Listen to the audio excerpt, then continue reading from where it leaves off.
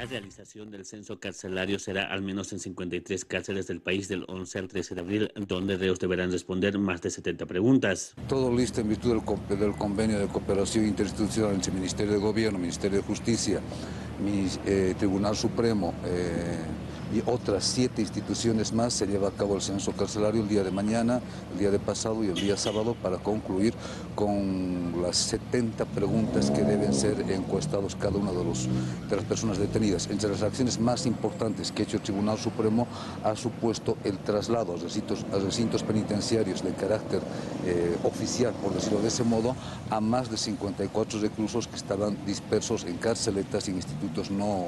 no administrados por el régimen penitenciario que corresponden al departamento de Beni, Tarija y Santa Cruz. Las preguntas que deberán responder los reos refieren a la situación jurídica, datos sociodemográficos, estado socioeconómico, educación, empleo, alimentación, expectativa de vida y otros de los privados de libertad. Se refieren desde la situación personal, situación socioeconómica, situación de, de eh, reitero, personal en cuanto a, su situación jurídica y esto nos dará los datos correspondientes para tomar decisiones eh, ya adelantadas dentro del marco de, dentro del marco de la ley de prevención procesal penal con relación a la situación jurídica de los mismos.